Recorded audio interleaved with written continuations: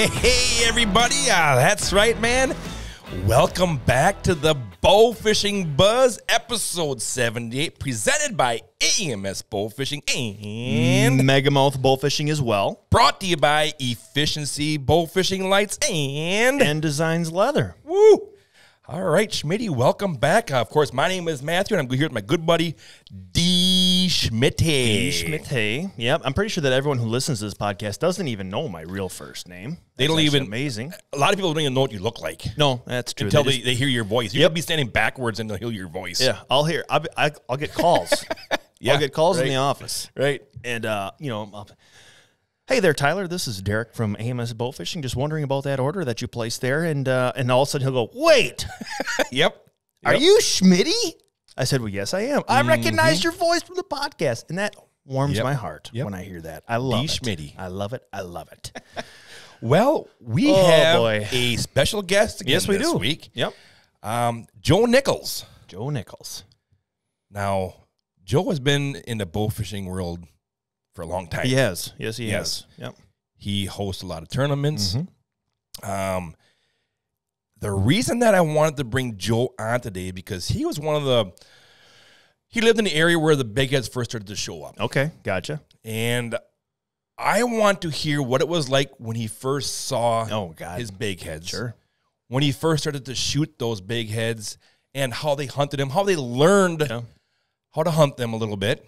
Because they're totally different than Absolutely. everything else. That's a totally different ball game. Absolutely, because that area where they were shooting those big heads on the Ohio River actually got the nickname called Land of the Giants. Land of the Gi- What an amazing name. Yes, I can remember Jason Greer and Mel Greer and Joe Nichols and um, some other people out there shooting those fish, and they were just absolute giants. Big old toads out there. Huge. Yeah. You know, 60, 70 pounds. Just tankers out there. Yeah. Those fish are not as common as they once So I were. really want to hear Joe's story about, Sure. you know, how they all first found out about him. Yeah, Uh, right. Did they just happen to be out one night and accidentally run into him, which Right. I'm guessing is what happens. Right. Right. You know? Yeah, what's going through your head when you look over and you see a 60 pound, you've been shooting commons all night or buffs, whatever you're doing. All of a sudden you look out the backside of the boat and there's this huge fish at the surface. That's got to be wild. Along with that, Schmitty, is were they running their big lights on? Right, Or right. what were they doing? yeah. Yeah. You know? had to be a learning curve. Yeah, I'd be curious to see what he says about Yeah, that. so so it'll be kind of cool to have Joe talk about that Yeah. a little bit. Um, Yeah. you've also got some bad news Uh-oh. for the March Madness. Oh, yeah. Yeah. Don't even get me started on that. Last night was the championship game. UConn beat Purdue. Yeah. Which UConn, just talk about a dominant year. Yes, oh my gosh, that's just they win by 15. They've won Yeah. every every tournament game they won by double digits. They trailed for like a total of like 30 seconds or something. I mean, just wild. Yeah, they had the largest margin of win in Sure. NCAA history. Yeah, that's just crazy. That's Yeah. just crazy. And uh, as many of you guys who have called the shop or called us for to place an order or have any questions or anything, you guys have probably talked to Wendy, and Wendy's husband Keith ended up winning the entire thing. He won the AMS uh, March Madness bracket, and Wendy took third. So they were just Right. raking in the dough. Yep. They each picked UConn to win. So Arizona didn't quite hold up their end of the Yeah, bargain. I was me. out of it uh, in the Sweet 16. I Yeah, we both lost our Houston. You had, yeah, you had Houston, I had Arizona, and we got we got duped. we got booted out right away. Yeah, yeah, we got Yep. booted out right away. yeah. But you know that's such a hard thing to.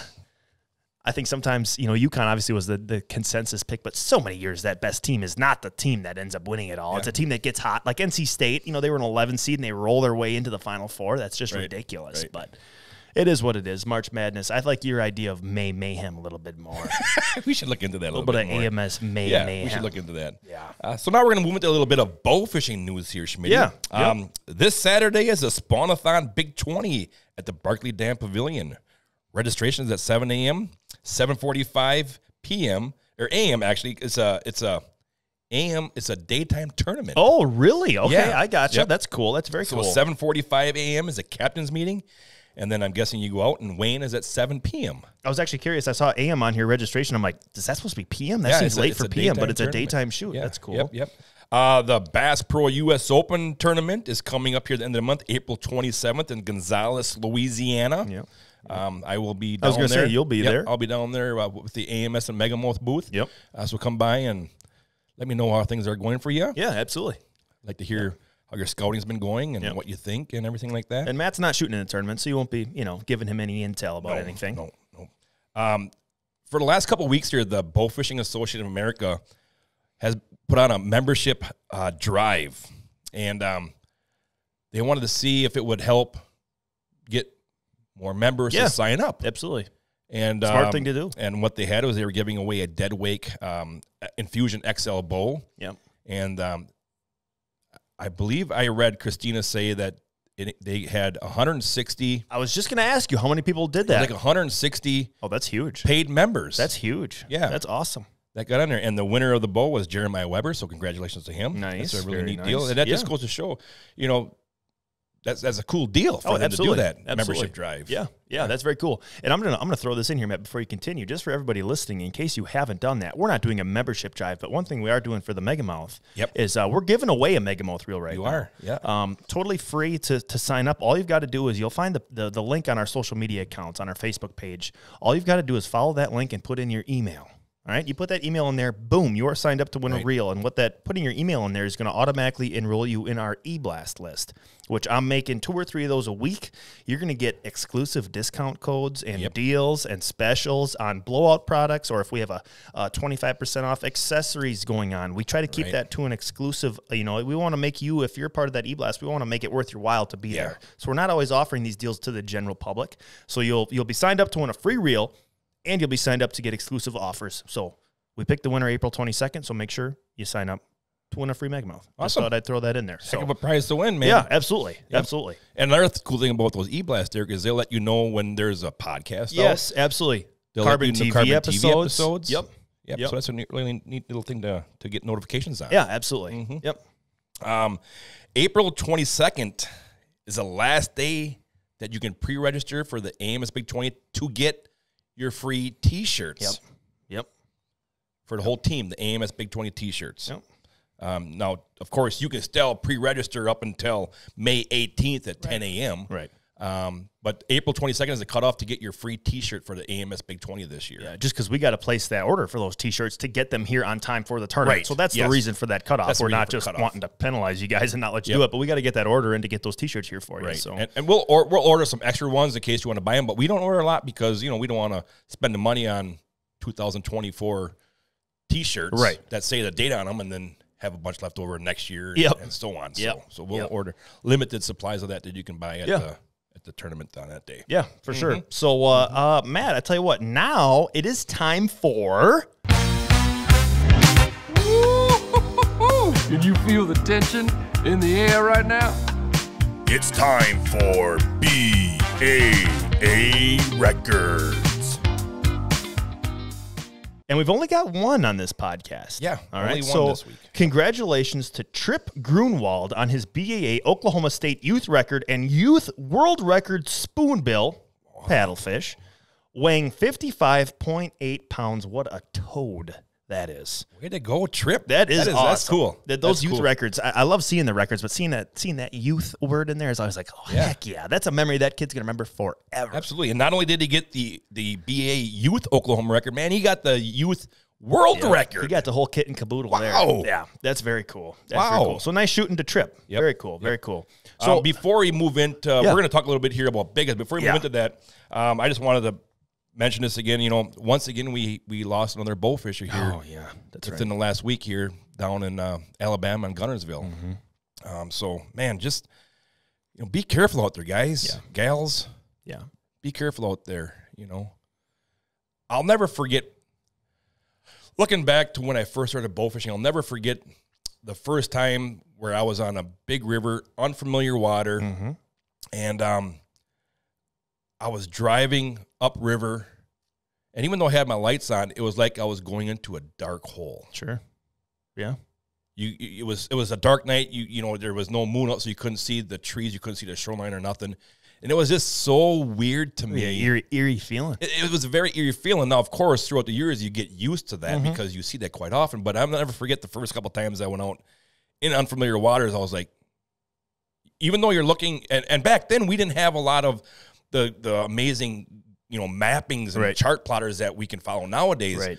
I can remember I was holding on to an old handheld Oh my um, gosh. uh, yeah, like a GPS system like a type GPS of deal. system Yep. that was kind of really basic. Yeah. you know. Yep. And I remember I'm like, okay, the river starts making a bend up here, you know, to the left. You know, I hope that's true. Yeah, right. because it's just like driving into a big black hole. yeah, yeah, And um, man, just you know, sometimes we just got to slow down a little bit. yeah, yeah. slow down and take our time. But man, just be careful out there, everybody. I know the season's starting. We're all wanting to get out there and get out there and enjoy the sport of bowfishing so much. But man, just be careful out Yeah. there and and you know, hearts off to the hearts, you know, to the people that we lost here so Yeah. far this year. It's, Right. it's just we we can't have that. We No. don't need that. No, no. Yep. Yep. Just be safe. Yeah, like you said, with especially with the season kicking off here, tournaments are starting back up. You know, Right. guys are going to be moving around in the water at night. So just take that extra second, be cautious, and uh, let's try to avoid anything else happening. Wear your this year. PFDs. Yep. Yep. It's another thing. Wear your PFDs. Yep. For Yeah. sure. For sure. Mhm. So yeah, with uh with Joe coming on and just kind of Yep. what you prefaced earlier, Matt, with that that information about, you know, the, the, what he might be able to tell us about what it was like back when big heads were not the craze that they are now. Right. Um, we're just going to do a little bit of an in depth dive into big heads. If, bit, if our if our listeners aren't super familiar with them, you know, there's not not many big heads up here in Wisconsin. Right. We're not going out shooting big heads every weekend, Right. or or targeting them at least. So uh, we're just going to do a little bit of a breakdown of the big head. Yep. So big head carp are native to Eastern Asia and are one of four non-native fish referred to as invasive carp. These fish are large, deep-bodied fish that have a large head and a large, toothless mouth with a protruding lower jaw. And I'll never forget this, Matt. The first trip I went down to Kentucky with you, and we were we were chasing after these big heads. First off, you were telling me how we were going to be going after them, and I'm like, "What? This seems crazy." But I remember you always said they're shaped like a nail. Oh, yeah. they kind of yeah, have a yeah. body shape of a nail. It's so big up top, and then they kind of just narrow down. Skinny. Yeah. Right down to a point almost like. Yeah. Yep, yep. uh, the big head carp's eyes are far forward and low on the head, projecting downward. The coloration of the body is dark gray, fading to white toward the underside with dark, Mm-hmm. irregular blotches on the sides. They have a belly keel that extends from the vent to the base of the pelvic fins.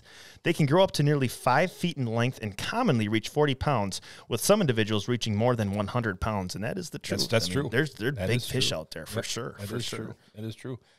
Bighead carp were introduced to southern United States in the 1970s to help aquaculture and wastewater treatment facilities keep retention ponds clean. The species begin first began to appear in the Ohio and Mississippi rivers in the early 1980s, likely as a result of escaping during floods. And that's isn't that just like the common theme with Yep, that? We bring them in to help us with something, and Right. next thing you know, bah, wow, Right. what now? Right, what right. now? Just like mm-hmm. with the you know the butterfly carp situation out in Idaho. Yep. People had ponds with koi carp in them. Yep. River floods. Boop. What happens next? Yeah, There you yeah. got 'em. Yep, it's mm-hmm. it's unfortunate. Uh, this is what you're about to say next is, is pretty astonishing. uh, it's actually scary. I'm looking at all this here, Yeah. and I think I'd have a, a better time saying where they aren't. honestly, yeah. yeah. It's pretty crazy. Yep. So bighead carp wild populations are established in the following states. All right. Yeah. Get ready for this. Alabama, Arkansas, Iowa, Illinois, Indiana, Kansas, Kentucky, Louisiana, Minnesota, Mississippi, Missouri, Nebraska, Ohio, Oklahoma, South Dakota, Tennessee, West Virginia, and Wisconsin. Whew. Take a breath. That's a lot of states. That's a lot of states. That's a lot of states. Bighead carp have also been reported in or stocked in the following states Arizona, California, Colorado, Florida, New Jersey, Pennsylvania, Texas, and Virginia. I would honestly like to see a list of states where they are not Yeah. at all, because that would be a short list. Be a short list. And that's in a relatively short time frame. Uh, it from they were first right. brought over here Yeah. in those aquaculture and, and waste treatment ponds. Yeah, they began to appear, like you said, in the early 1980s. I mean, Yeah. yeah, that seems like a long time ago, but for for Right. the evolution of fish movement, 40 Right. years is not that long. Right. That's not that long of a time. and to really take over river systems and Yeah. water bodies. Yeah. Yeah. You know, Yeah. That's That's that's that's what invasive species do best is they invade. uh, bighead carp eat blue green algae, zooplankton, and aquatic insects and larvae. How'd you like to go have a meal of blue green algae tonight, Schmitty? And I tell you what, sometimes that's what the uh, public school lunches tasted like at school and high school. But uh, yeah, that doesn't sound real good. Um, you know, something else. You, you, I just sometimes I, I get reminded of all these little one-liners that you've said to me over the years. I remember you said when on that first, that same first trip, you said they look if you're looking out over the water and you, you see a white five-gallon bucket floating towards you. That's a that's a big head Right. feeding. It's his mouth. Yeah, and that is what it looks like Yeah. too. It's it's insane. Mm-hmm. Um, the big head carp does not have a true stomach, so it must constantly eat. Isn't that's that- insane. Isn't that crazy? that's wild. Sometimes I think that's how I feel. Me too. Same, honestly. that must be my problem. I don't have a true stomach. Yep. It is also These big heads are getting you all riled up. it is also thought that bighead carp will compete for food with fish that are still in the larval stage, and fish populations decrease because the larval fish do not get enough food to survive. Yeah, that makes total sense. Mm-hmm. Yeah. Big head carp spawn when the water temperature is between 77 to 86 degrees. That's pretty warm. That's warm. Wow. Well, there's a lot of times when I'm down there in Kentucky in June, July, and that water temperature is way up there in the high 80s. Yeah. You know, yeah, I'm just like compared to buffs and commons, you know, that's Right. that's a way warmer temperature. mm-hmm Way warmer. Females spawn between April and June, with the peak spawning season in late May. Hmm. In rivers, spawning is triggered by a rise in water level following rains. The spawning period can extend from spring to late summer. The eggs are semi buoyant and are deposited into the river channel. Oh, They hatch as they are carried along in the river current. Bighead carp are no, are not known to successfully spawn in ponds or lakes. Wow. So they need that buoyancy Yeah. of those eggs. And it carries them down carries river. them. Yep. Wow, that's that's wild. That just sounds invasive in itself. Is how those eggs are, how that how those Right. eggs are going to be hatched. They get taken down current, crazy? and they can't even do it in stagnant water. Right. That's yeah, Yep. Wow. Yep. Yep. Uh, female bigheads carry six hundred sixty thousand to eight hundred seventy-two thousand eggs on average. As a female big bighead carp gets older, they increase the number of eggs they ca- carry and spawn each year. That's crazy. That's 660 660,000. Yeah, to 872. 872. And, and more and more as they get bigger. Yeah. That's crazy. Now, I'm going to read you off some some numbers here, Matt. And I'm going to be honest with you. When I first read these numbers, they they astounded me. Yeah. Okay. So I'm guessing there's going to be some listeners out here who are going to be hearing these and go, holy cow, Mm-hmm. that's insane. All right. So I'm going to read you some state records. All right. Kentucky state record is 94.9 pounds, shot by Darren Tomlinson on May 12th, 2022. Pretty recent. Pretty recent. Yep. a- that's a huge fish. Yep. Alabama state record is 98.6 pounds, shot by James Carroll on May 13th, 2021. Mm-hmm. Okay. Back to the Kentucky Kentucky state record. It was shot by Darren on May 12th of 2022. Alabama state record by James Carroll May 13th of 2021. One day and one year difference. that- That's that's crazy. That's Yeah. interesting. Yep. Yep. Yep. The Ohio State record is 92 pounds, shot by Tyler Skelton on September 11th, 2022. And the world record big head weighs 104.15 pounds, shot by William Barr of West Virginia on July 14th, 2020. Those all those big fish are within the last 4 years. Yep. That's insane. These big fish mm-hmm. are popping up like crazy. Mm-hmm. Yep. They're thriving out there. They're thriving in those river systems. Mm, mm, mm. Wow. And that's why they're so invasive Oh, yeah. what we said earlier is they have no stomach, so they're Right. constantly feeding. Right? and taking away all that fish food, you know, for the tiny Yeah. native fish Right. Right. to grow. I know they did some studies down there on the Cumberland and Tennessee rivers and the tailwaters and the Ohio River of the spoonbill down there, Oh, sure. Yep. and how skinny the spoonbill were. Oh. They're just so skinny. because of the lack of food that the big heads are taking away. They each feed in the same similar fashion. Yep. Yep. Wow. Mm-hmm. Wow. Yeah. That's interesting stuff. That's That cool. is- that is crazy stuff in the bow fishing world with our invasive big heads. Yeah. Yep. But I love them. Oh, me too. They're fun. they are so fun. So fun to go hunt. Yes, yes, Absolutely. yep. So now it's time for some sponsors ads, and then we'll get on our phone call with Joe Nichols. Sounds good. Efficiency Bowfishing Lights by Outdoor Innovations USA. A color tone adjustable and dimmable light with a unique patented reflector design that puts more light where you need it. Efficiency Bowfishing Lights offer three different models the 65 watt single color economy light, the 65 watt efficiency V2 tricolor dimmable light for maximum efficiency and versatility, and the 130 watt efficiency Maximus, designed to be an all out beast of a bowfishing light.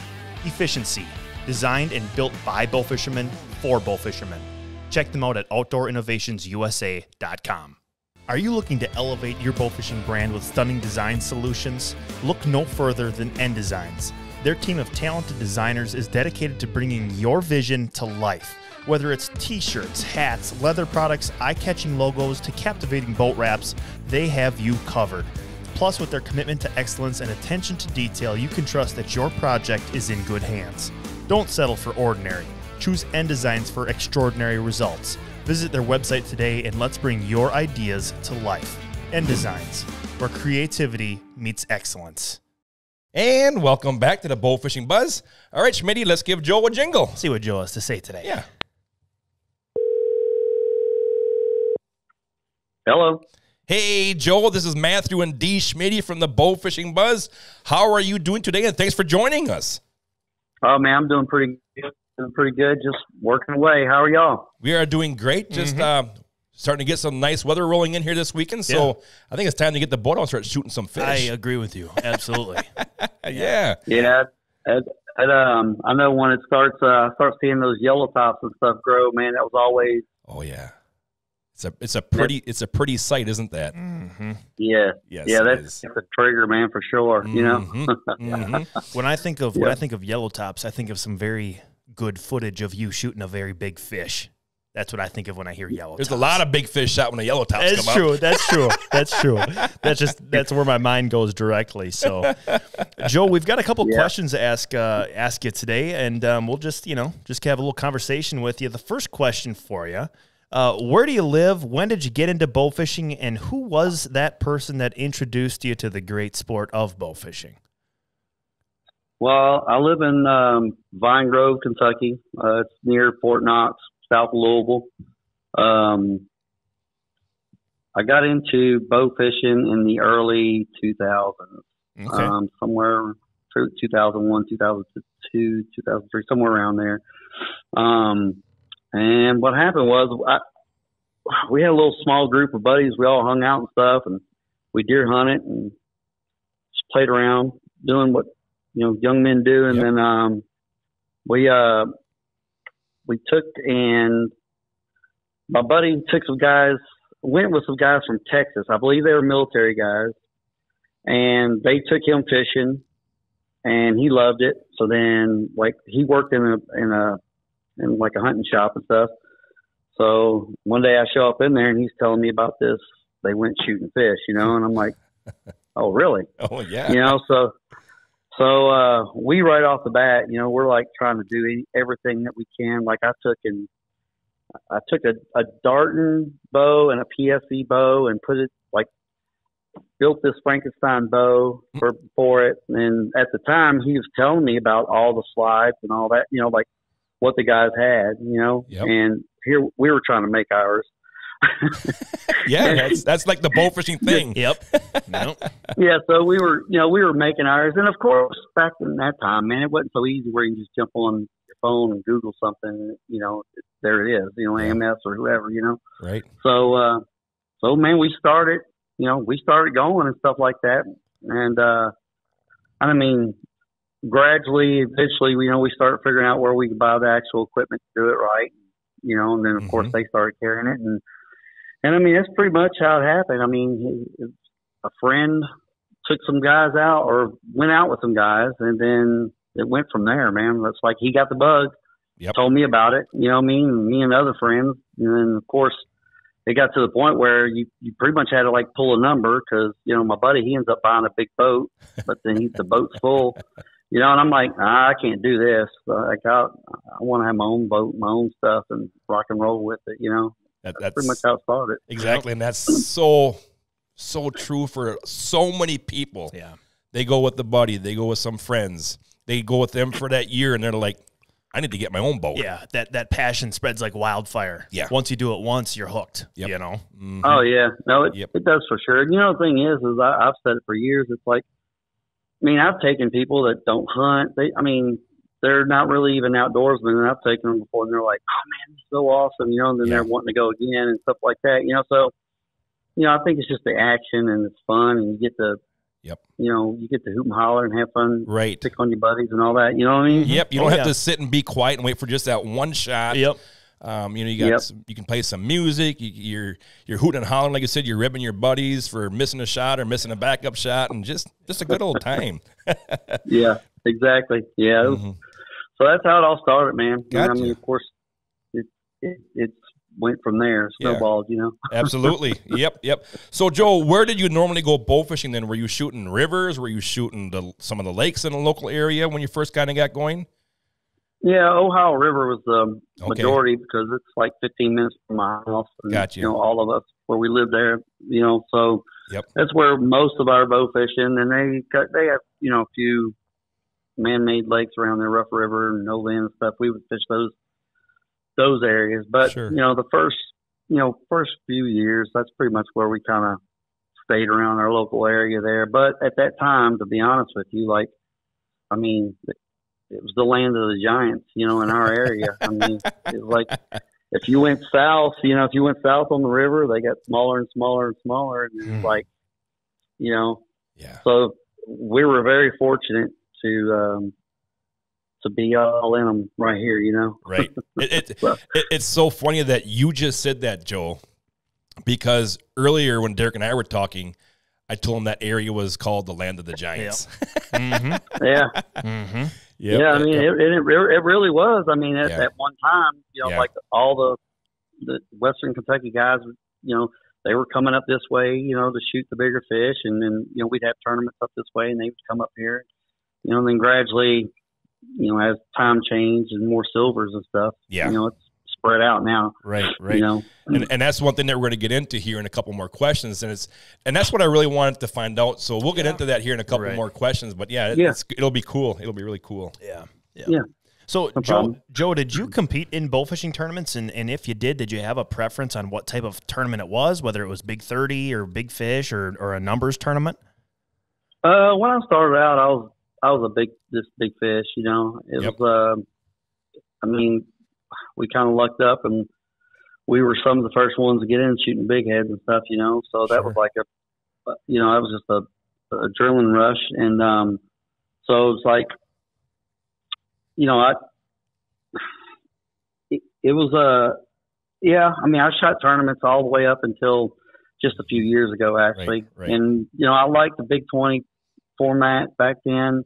Um, but we had mostly it was Big Ten, you know what I mean? And to me, it was kind of like, you know, just shooting 10 fish. And then Yep. after that, you're like culling, you know what I mean? Yep. So, Mhm. right like, I always felt like the Big 20 was like more fun, to be honest with you, you know? So, Mhm. but the big, big fish format for sure. And then probably, I don't know, probably about 2010 or so, somewhere around there, I just started shooting the number tournaments. sure And uh, I think it has to do with my ADHD, man. It's 'cause I- it's just, you know, I'm like, I, I just want to keep shooting and shooting. And of course, like if you're you're in a tournament or something, you don't want to be plucking away at little bitty fish and stuff because Yep. next thing you know, that you know the stud was sitting right there in front of you and you Right. shot and, and blew him out. You know, Mm, so. yep yep But I think I just like the numbers for just the action part part Yes, of it. You right. know, now you know. So, but I still enjoy shooting big fish. sure I'm an equal opportunist, man. I like shooting them all.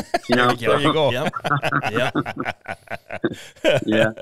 so joe now we're gonna get to the big head time um do you remember what year it was when you saw your first big head yeah, it was like I'm just guessing, man. mm-hmm. Uh, 2002, 2003, somewhere around there, Okay. and it was and it was actually by accident. We were running a generator, and that was with my the buddy I was talking about that you know got basically got us into it. yep and um, it, on the bank.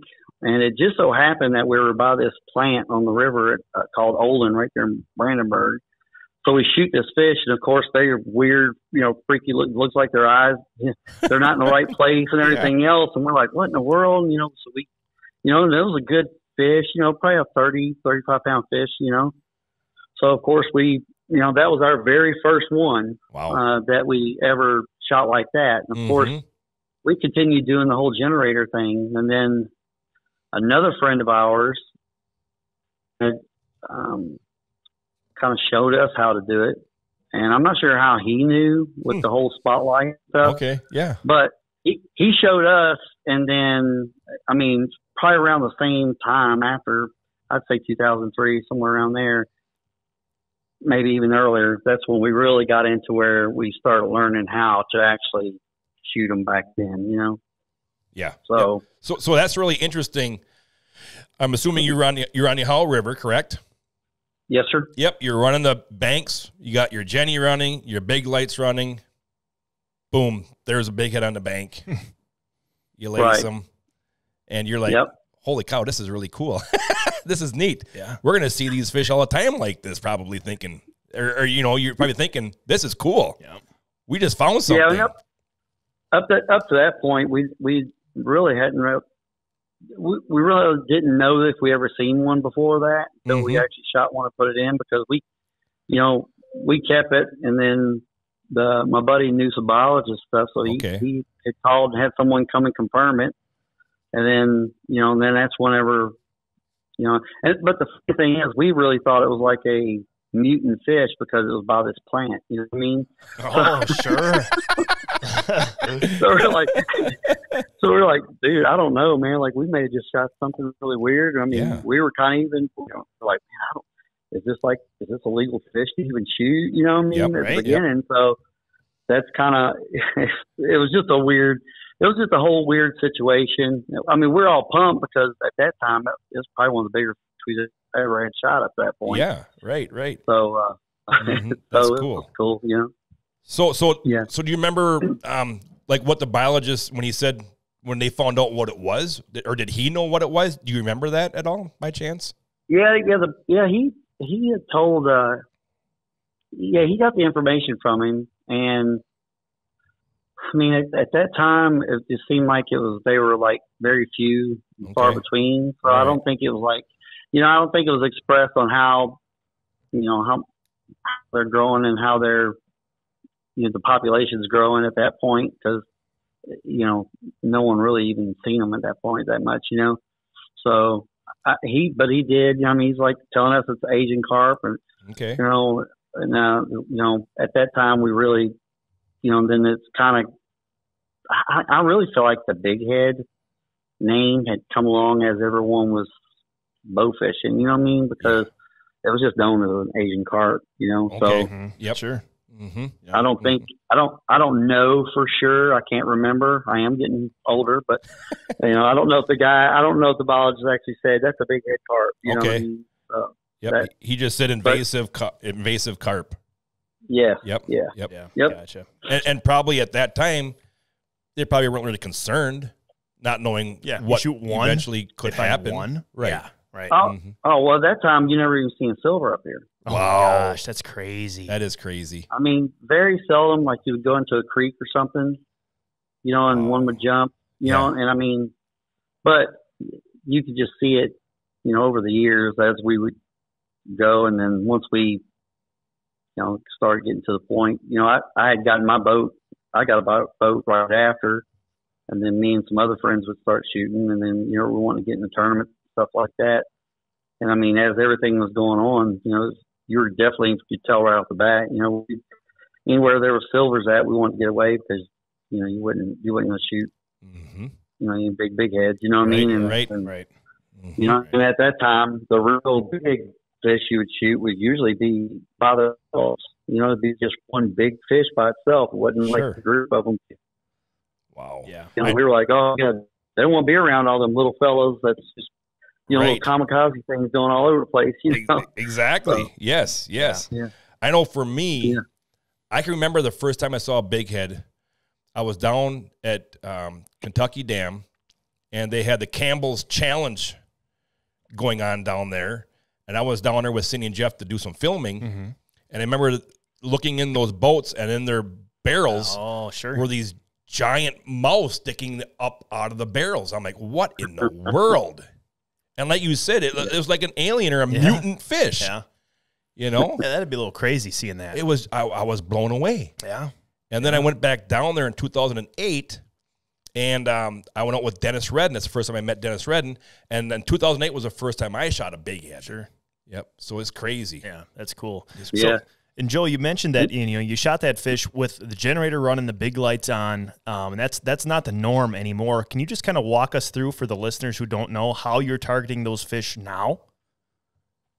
Um, back then we would just use a spotlight. Like Yep. literally take the the spotlight you would use you know, just plug into your truck cigarette lighter or whatever Sure. else, and Yep. uh, cu- uh, you know, cubing, and that's what we used back then. Uh, and all you would basically do is, is you know, your one guy is using the trolling motor, and one or two guys on each side of you, and then you would just pan from like the three o'clock to nine o'clock Yeah. you know, depending on how, you know, and then, of course, as we went on, you start figuring out like you shine out too far where you're blowing them up, wailing out, and they're dropping out. And so you start to get to a point where, you know, like when I would do it, I, would- I would, pan, and then where the edge of the light was at, once my boat got to there, that's when I would pan again, you know, so hmm you just kind of, you know, that's how it it was done back then. And then as time's gone on, you know, now, I mean, they they had people were building towers and everything else to where you step on, you know, step on a foot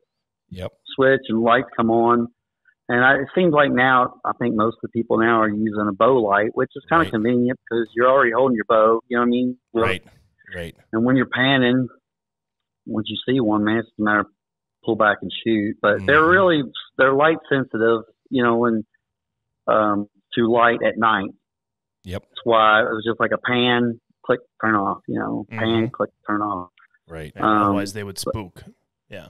Yeah, they would spook. Yeah, and I mean that back then, what the cool thing was, um, you know, we would get out there on the river, and as we went on, we started figuring out, you know, where they should be. You know, and it came down to where you're paying attention with to the wind and stuff like that, because the wind may have blown you know, scum and stuff up against the north side of the bank or something like that. So then you get in there and that you know you may find them there, or mouth of a creek, or you know just it just all really depends how the weather was doing, you know, at that point, really. Yep. So And and Yeah. it's, it- it's cool that you're, as you're hunting these fish, mm-hmm. you're also learning, like you said, wind blowing, you know, scum into certain areas, mouths of cricks and stuff like that. You know, that you're you you you you shot your first one.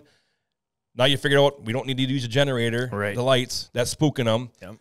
But we can't shine too far out in front of us because we're spooking them. That'll spook the ones them. that are out there further. Yep. So it's so cool that you're learning this whole process as the big heads, you know, eventually found their ways into those rivers down there. It's a neat process, I think. Yeah. You know? yeah, yeah, and you know that's the thing. I always like it, if it wouldn't have been for a friend of a friend, you know, telling us about the whole white how to do that, we Yeah. would have, you know, never known. But then after that, it's a matter of like I ended up talking to I, I wish I could remember his name, but it was on Bowfishing Country, and he's a biologist. And man, that guy would give me. I mean, he would show me all kinds of. I mean, send me graphs of like the feeding patterns of Oh wow. You know, Asian carp, and you know, he was showing me that in some cases, man, like in February, that would be they would be at a certain level, like, Oh. like moving the most until, of course, you know, when the water starts warm up, stuff like that. You know, so wow. That's cool. you know the stuff. He was way more high tech than what I am was, but and he knew, you know, I I, just wanted to shoot Mhm. heads and, mm-hmm. and I want to know as much as I can, you know. So, Right. Right. but it was it was cool, man. That's awesome. So so what was it like those first couple years? Was there's was there a lot of big heads? Or like you said, just a few random ones here. You know, what was it like shooting in tournaments? Were you going back in and winning tournaments with these fish too? Yeah, I mean it took it took a few years because I mean you you would get into some, then you know we were learning. You know Yep. everyone was learning as you go. So Yep. you know it's like we get into them one night, we go right back to that same spot and not see them, and then we're like you move around a little bit, you know, Right. and we're like, well, they're gone. so, but yeah, eventually that's how it worked. I mean, we shot. Uh, the friend that I got into it with, he really, they really didn't get into shooting tournaments. Um, I just have a competitive nature, and I just wanted to compete. And Sure. once I heard about the tournaments, that's where it started. And I mean, there was tournaments that I can remember. Everyone was. I mean, we're watching everyone run around. It's with generators and stuff, lights on, and uh, and you know, here we are just panning away out in the middle of the river. You know, Mhm. and uh, then you come in, and then like, you know, a lot of boats will have, you know, the river fish that we have here. You know, some buffalo and commons, the grass carp here and there. Yep. you know, and all of a sudden you would have those things. And me, you know, my my partners always said, "Man, you got a big mouth. Don't say nothing." But I don't know. I was just, I just want, I don't know, man. I'm just that way. Like I don't, I want to compete. Like, you know, I want you and I to be in the same bathtub and Yeah. and knuckle it out. So that's kind of the way it was for me because it was kind of getting to the point where, you know, they're like, "Come on, man, what? Really? We really need to do." You Yeah. know, it's like, you know, so. And I mean, there would still be. I mean, there and at that time, as it went on, I mean, it didn't take probably, I don't know, from probably from. I, I would say, you know, after 2006, 2007, I mean, it was like it was spreading like wildfire. Then Yeah. at that point, people getting it, but Sure. you know, we the way we got into it and stuff. I think we at that time just had a little edge, possibly. You Absolutely. Know, I, you know, I- it's like after that, you know, guys come in and they're like, you know, then they're shooting the same fish that we are. You know, and I mean, right. we had some big tens that was like, you know, mid four hundreds. There was one and there was close to, to you know, five hundred pounds. And, Jeez. you know, so it was like, but you got to think in the beginning, like you shot bigger fish on average up here, but there wasn't as many. Yeah. You know, then as the more we got, the more the weights start dropping and the more silvers. So, I mean, you would, in the beginning, you may shoot, you know, three, four or something like that in a Big Ten, you know, and then uh, you, you, you're on the banks trying to Okay. get, you know, finish out because you're running out. Yeah. And then as it went on, people were figuring it out. And it got to the point where you could shoot a Big Ten, Right. and it just went from there, moved up, you know. Yep. I, I can see, I can imagine what it was like back then. So you go to the tournament, you're sitting there getting ready for takeoff and all that stuff, and you're looking, you're looking at all the other boats that are you're going to be competing against, and you're like, eh, they got generators and lights, they got generators and lights, they got generators and lights. We're going to beat all these guys. they don't have a clue what we're going to be up to tonight. right. Yeah. Yeah. Yeah. that'd Yep. cool. Yeah, and that you and you and you're exactly right. That would be the thing. And you already know a lot of them. That's how they're going to do. And you know, like one of my best friends I shot with forever. You know, my Adam Burton. You know, he shot with Mhm. uh, um, Neil Neil Heerdink's dad, but he shot with him. So and it was always just them two. And you know, at first it was on a generator, and of course Adam he shot since way back in the '90s. And uh, you know, and they, you know, he would always like, so what's, you know, what's, what's going on? You know, I don't think, you know. So of course, me, I, you know, I tell him, and then, you know, it's fine. Especially like, you know, you go down somewhere like start going down to the tailwaters, and I mean, I think back then I didn't realize it, of course, because you know Dennis and them, you know, they had the tailwaters stuff right there by them, Yep.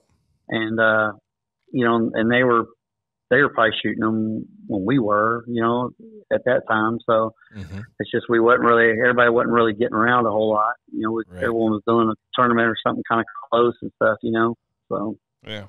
That, that's cool. So, Joe, what were the average weights of those big heads back when you first started shooting them? Man, like at one time it almost felt like you never really shot a small one. I mean, it was like Yeah. if you shot something smaller than like 35 pounds, my you're like, gosh! what's going on? You know, so Wow. Um, and then like I have, I actually had found a, a picture album because I was trying to look and see exactly around the area whenever the time I actually started shooting. Yep. And, uh, and you know, on the back of a couple of them, I have it like the, you know, the weights of each one of them that's in Mhm. like, you know how it is when you start off, you know, you shot three fish where you're getting a picture of all three fish with your stone cold killer face, you know? yep. And, uh, oh yeah. and uh and then that you know looking back at that i was like you know man i can remember those times it wasn't like it was a fish after fish but man they were studs you know Yeah. and i mean Yeah. it, but Mhm. 35 i mean in, you know 40 pounds but the big big ones that you know your kicker fish were they they were 50 pounds Wow. you know? Wow. Oh, Yeah. They were So, good fish. that's fun. Yeah. yeah. Yep. Oh yeah, yeah. Yep. That yeah. It's it, it's it's definitely and I and I'll kind of go into it here in a little bit, but y- yeah, like you would have some nights that are like, you know, later on in time, I figure, you know, we figured out why why that, you know, Mhm. why the fish were doing what they were, why you're shooting the big big ones at the Sure. time, and stuff like that, you know. Sure. So So, so what's the biggest one that you've ever shot, Joe? 70 pounds. Seventy pounds. Wow. Yeah, That's it was officially weighed.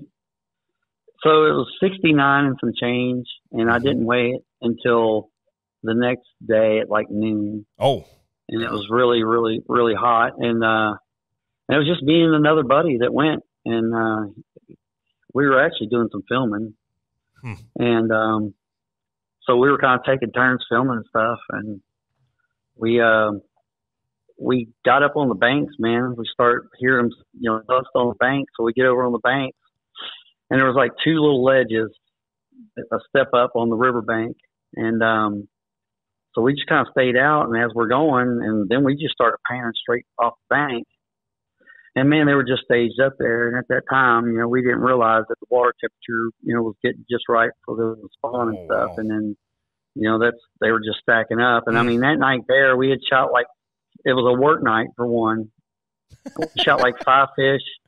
All five of them were over fifty pounds, Oh. and then that one, like when I picked it up, like I could, like I knew that it was Yeah. the biggest fish Yeah. I had ever shot. You know, absolutely. Wow. and um, you know, it was it was definitely cool. I mean, it was a time that I remember because at that time that was the biggest fish I ever shot out of anything. You know, Right. right. That's cool. I'm gonna I'm gonna tell a story here, Joe, and, and let me know if you remember any of this. Um, okay, I came down there in that area in 2010 to shoot in the Downriver Bow Fishing Association tournament on the Ohio River. And um, I was shooting with Chris Lee and Jason Greer. And the oh, I already know where you're going. yeah, yeah, yeah, yeah. I, I won't forget that. yeah. The reason I was down there is because I was looking for a location to host our first annual AMS Big 20. And I had Right. three spots located out, and th- this was one ch- spot that I went to look out to shoot in a tournament to check it out. And so um, we went out that night and we shot a tournament, and I'll never forget this. Um, we were up there weighing our fish, and uh, you were coming in next to weigh in your fish, or you were sitting out there in your boat. And I said, "Hey Joe," I says, "Give me a thumbs up. I want to get a picture." And you you kind of gave me a thumbs up, but there was no thumb. And I'm like, "Come on, come on, give me a thumbs up. I can't see it." You did it again, and I'm like, "Joe, give me a thumbs up, man." Because this, it was the sunset was back there, and it was just a really the, the sky was all pink. It was early in the morning, and I'm like, "Give me a thumbs up in your boat." And he said, "I can't, man. I don't have a thumb." Oh my gosh, what a way to find that out. Good yeah, lord. I was like, "Oh, uh, I'm sorry, Joe." My bad. uh, no, and at that time, I kind of figured it too because it's like uh, you're getting the nubs up, not the thumbs up. So, No, Right. That's a perfect. Wow, that's amazing. No, oh, that was so funny. And yeah, then that same that same tournament's the one that we had found the same spot, and we, you know, we thought, man, we're getting ready to take a drive, and you know, we're going to sit down on these fish and have an awesome night. And Yeah. we're passing boats up, passing boats up, and I look behind. I was like, who's that coming on? Ah, I'm looking, I'm looking. And I, here, here y'all go by, and we're like literally right around the corner from Yeah. the spot.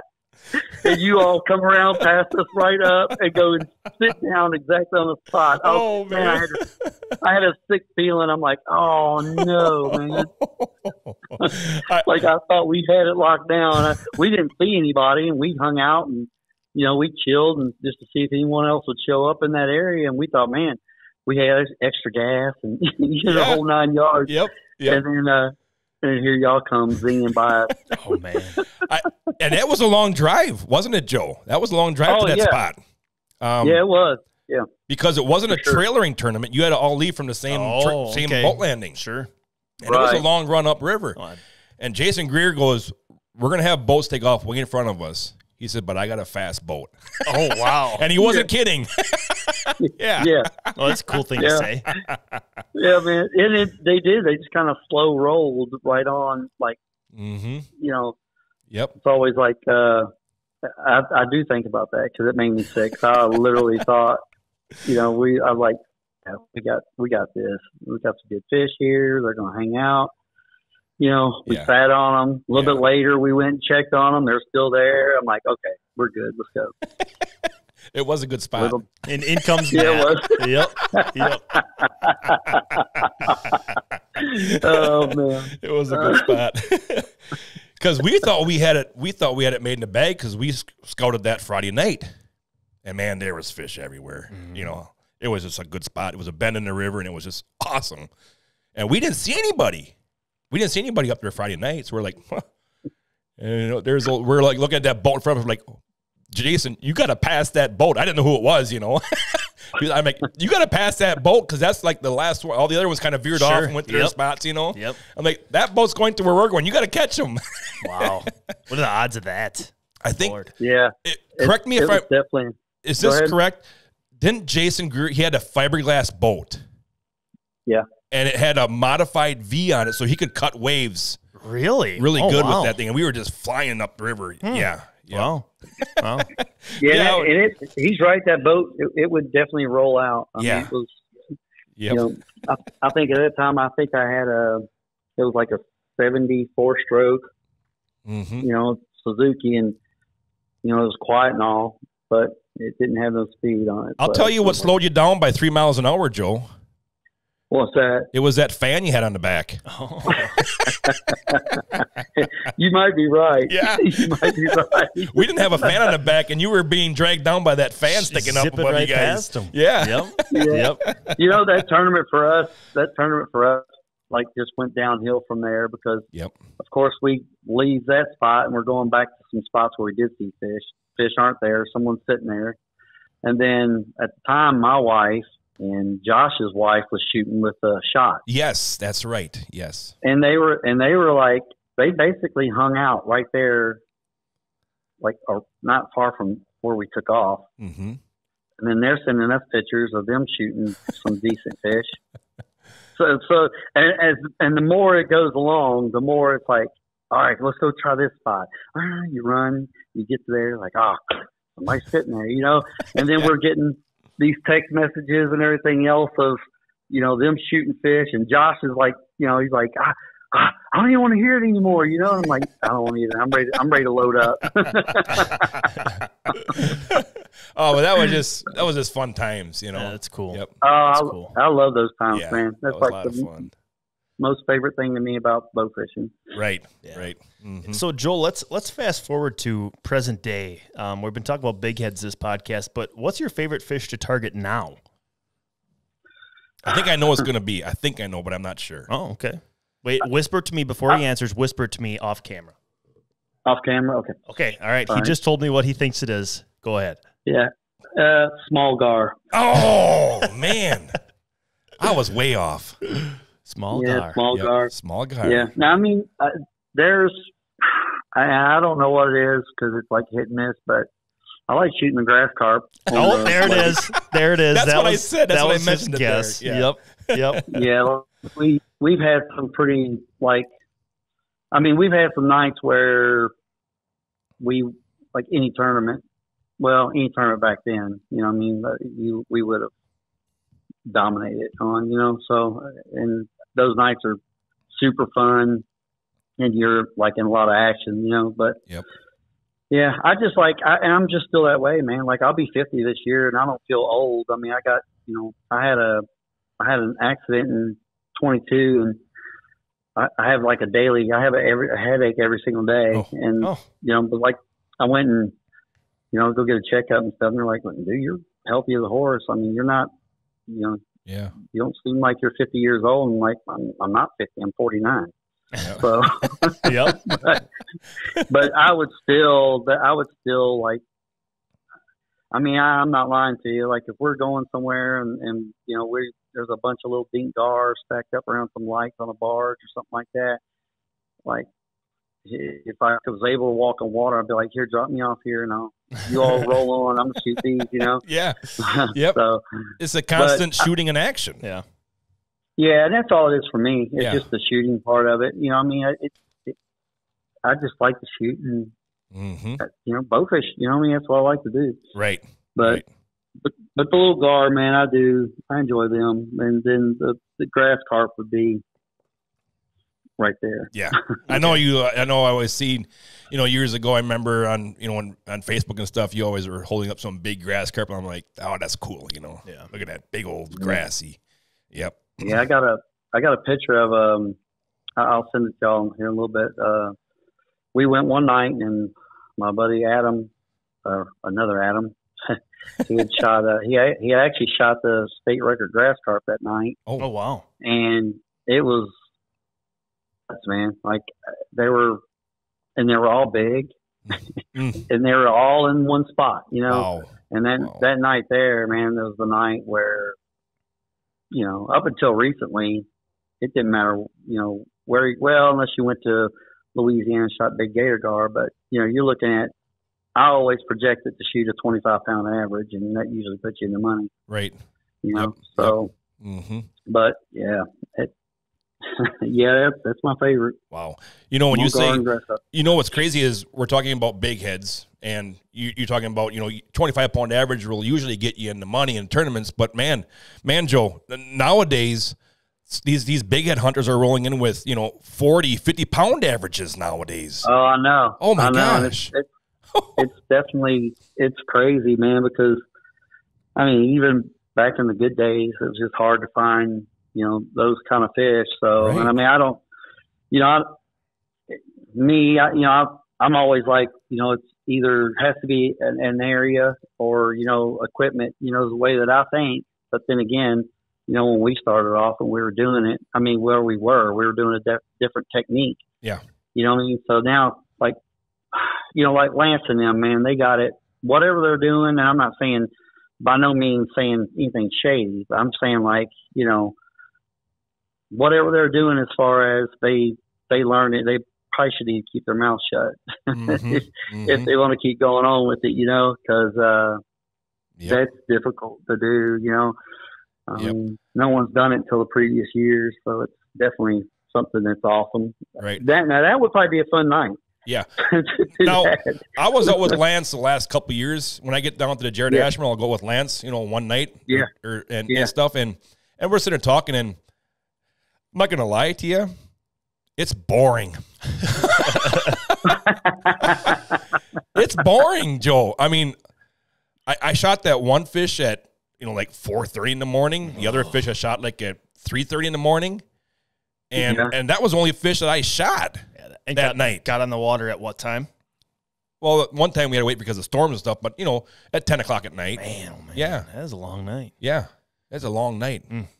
You know, and, yeah, and and that's that, that time it's almost not dark until. right, right. And I remember Lance telling me the amount of hours and nights that he has put in scouting and trying to figure out fish is just mind-boggling. Blow you away. The guy's eyes are bloodshot 24/7 365. He's got a lot going on. yeah. He does. Well, them, you know, them guys, and then like uh, he's scaling them, man. I mean, them, you know, those, they're the same way. You know, I mean, Mhm. they've got it figured out. I mean, you know, I've seen. I mean, I put on tournaments, you know, where Right. everyone's thinking the big heads are going to do it. The big heads wasn't up, and here they come in with, you know, an awesome, you know, Yep. stringer of buffalo. You know what I mean? Yep. So- Mhm. Mhm. Um, eh, but it does. It takes a lot of work, man. I, Yes. and I, you know, that's. I think, for one, a lot of people take it for granted the fact that, you know, we live in an area where there, that's a target fish for tournaments and so on. So, and, and we take it for granted that, you know, we know things or, you know, I mean, I definitely think it's evolved and changed since I was doing it Yeah. hardcore for Yep. sure Yep. you know, and uh, and but sometimes people take it for granted. I mean, you got to think, man. There's like, you know, there's no big heads down in Louisiana. You know, what I mean, no one's no one's out on the water down there running with the spotlight and stuff. You know, Mhm. so Mhm. and your time on the water is very valuable. You know, so Exactly. Yep. Yep. Yep. yeah, Exactly. So, Joe, talking about tournaments, um, you used to host a variety of tournaments. You hosted world's tournaments. You hosted a lot of tournaments in your area down there for for several years. Um, you know, Mhm. what was that like for you when you were, you know, doing all that stuff? I mean, you had to be busy as heck and and dealing with issues and all that stuff. But man, you every year you were hosting tournaments and putting on worlds and all that stuff, Joe. Yeah, it was fun, man. I think that you know now I- look at it and I'm like, that was definitely my ADHD, you know, because here, you know, everyone's like, you're shooting it too. I'm like, yeah, I'm shooting it too. You know, it's like, you know, but it was always fun. I love putting on tournaments. Um, hmm I have full intentions on uh, getting back into shooting fish Yep. soon. And Yep. if I do that, you know, I'd like to talk to the guys that took over, like the Tough Man tournament. Man, I you know I put that tournament on for years. and, Yeah. You know, Yep. I wouldn't mind seeing if some guys would let me, you know, get with them on that and run it again or something. Yeah. Um, but I wouldn't do it. I mean, I did. I had a I had fun doing it on the on the. You know, it was kind of stressful because Yep. Yep. you know how in anything, the bigger the group, I mean, you can't make everyone happy. And then Right. we're human. We all have different opinions.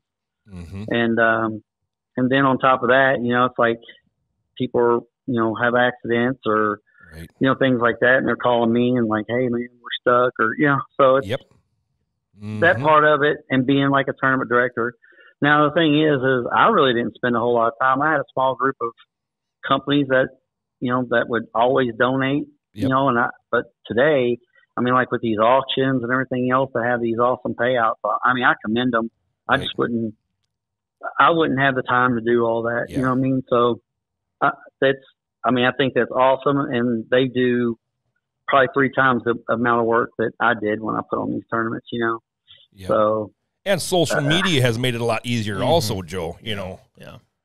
Oh yeah, no, it it, it has, and I mean, Mhm. I I had the benefit. I had the benefit of, of that. You know, I mean, we we always had decent turnouts unless the weather Right. was crap. You know, Right, and uh, you know, I mean, I enjoyed. You know, I did state shoot and uh, the worlds, and I Mhm. did that uh, madness shoot for the wildlife and fisheries, and Okay. Yep. you know, Yep. it was like, you know, I, I enjoyed it, but I, it's, it's just part of doing that. it's just part of putting on tournaments, Yep. you know. Yep. Because I remember So- you hosted. I think it was the 2016 Worlds down there in Kentucky, and there was almost 80 boats at that tournament. Oh, big tournament. Yeah.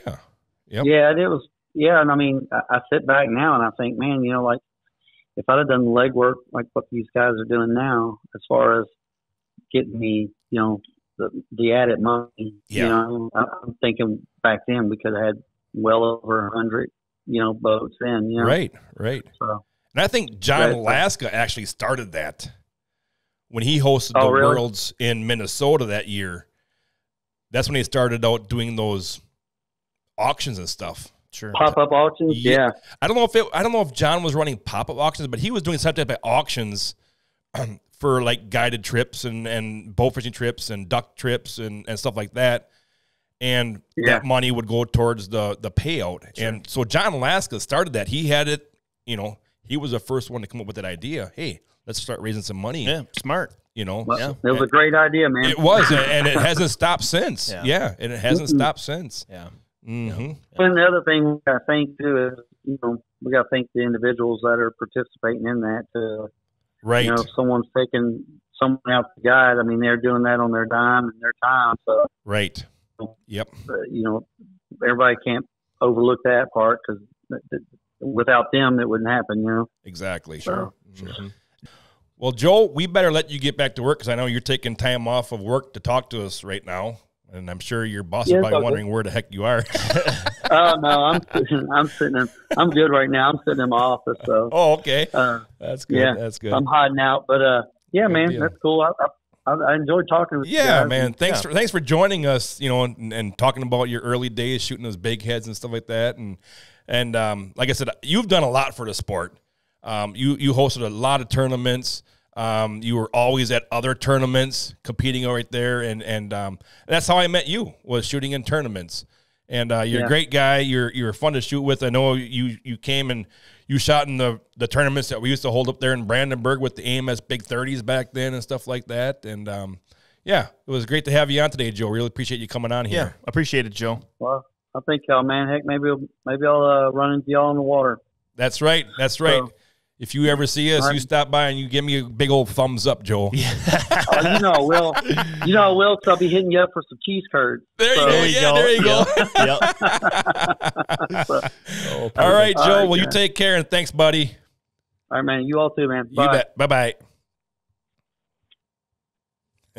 That's funny. A little bit Yeah. of insight in uh, Joe Nichols there, and that that bighead history actually is very interesting. Yeah. that's that's pretty cool. Yep. Yep. And to think that he actually thought that he was shooting like a nuclear radioactive Power fish plant by the freak. power plant. Yeah, Yeah, the that's power actually plant freak. That's funny that that was his first instinct, but yeah, that's pretty cool. Yeah, that's pretty That's cool. cool stuff. And and I know Joe kind of got out of bowfishing here a little bit within the last couple of years and stuff like that there, but um, he does still miss it, like he just said Oh, right yeah. there, and wants to get back out there because because he was at a lot of tournaments. He was he was doing a lot of stuff for bow Mm-hmm. Fishing, you know, years ago.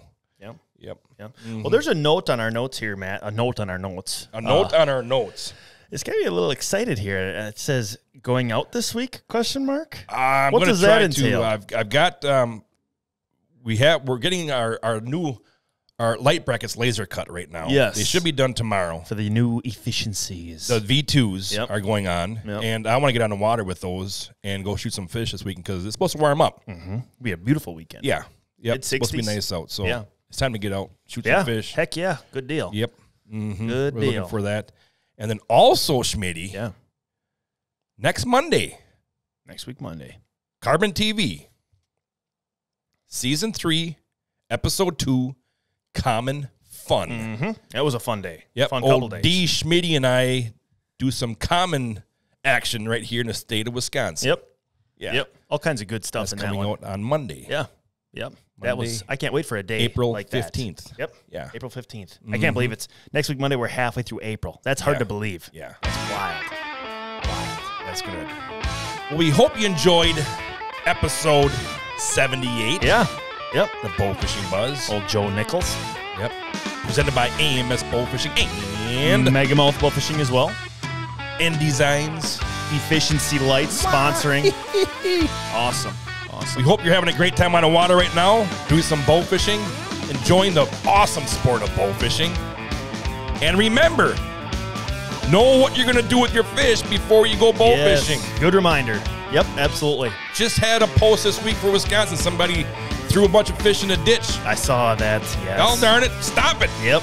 Or don't go bowfishing. Yep. Exactly. We don't need that. exactly. Don't need that in our sport. Bad apples. Yes. So, from all of us here at AMS Bowfishing, we wish you the best of luck. Remember, aim low. Think big. Thanks for listening, guys.